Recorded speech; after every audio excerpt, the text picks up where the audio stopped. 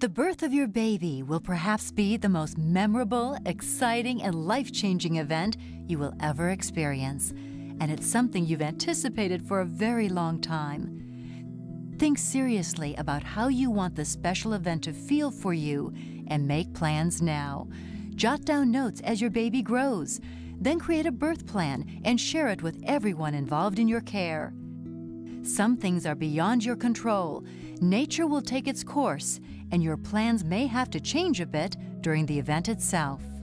Having a birth plan makes you look at what your options are out there, how much participation you want of your family. It helps you make decisions in your health care for both you and your unborn baby and your baby once it's born.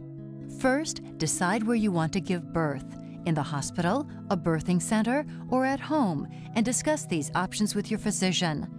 You also need to decide who will be there to support you and when.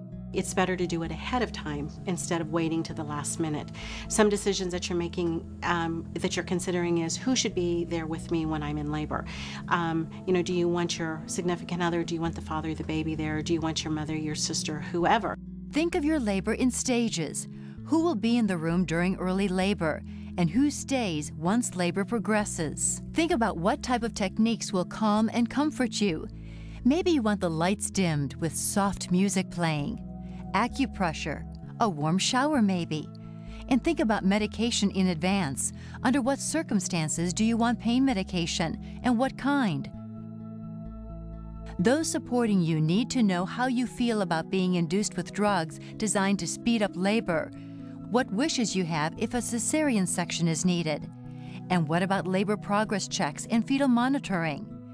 If you don't want an episiotomy, let your physician and caregivers know that. Once you're in labor, that's really not a good time to be making a lot of decisions um, because you're you're in pain, you're worried about yourself, you're worried about your baby. There's a lot of concerns that you have going on in your head.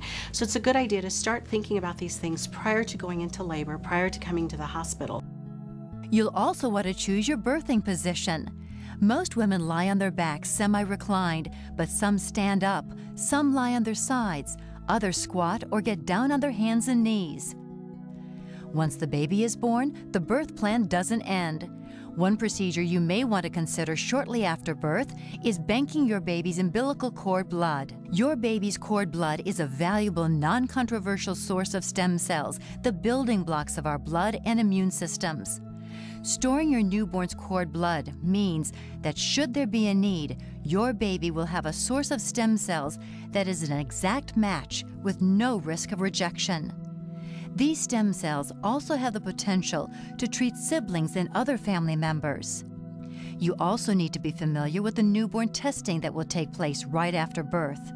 Some routine checks can be delayed if you don't want to interrupt these first precious moments with your newborn. It's strongly encouraged that before you ever even get into your second or third trimester that you come up with a birth plan, write those thoughts and ideas down. Share those with your physician, share them with people at the hospital. We may be able to give you other thoughts and ideas that are going to work for you versus what you are wanting to do. To learn more about creating your own birth plan, visit our website at www.forbaby.com and click on Checklists.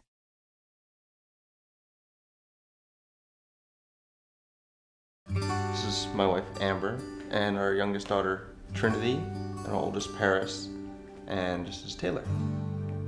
Taylor got sick shortly a year after her first birthday, and then um, we found out it was leukemia.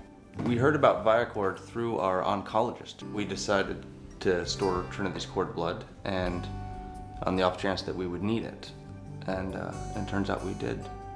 They made it very easy for us to uh, to store the cord blood. Everything about it was just went perfect. When Taylor relapsed this last time, they gave us less than a 20% chance of survival. Now that we're at 14 months, they're telling us that it's less than a 5% chance that, that she'll ever be sick again. The best time to find out about cord blood preservation, I think, is if you're gonna plan a family. To go from a 20% chance of survival to a 5% chance of her ever getting sick again is entirely Viacord's doing, entirely. Without that, I don't know where we would be.